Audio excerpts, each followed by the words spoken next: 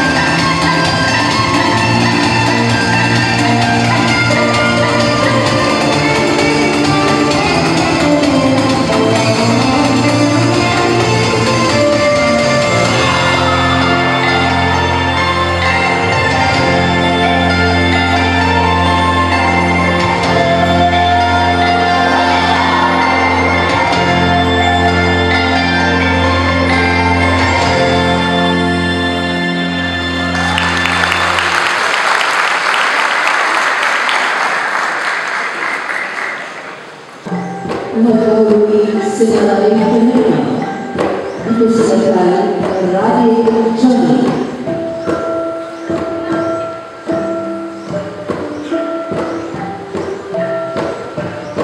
Yang berbuka kedua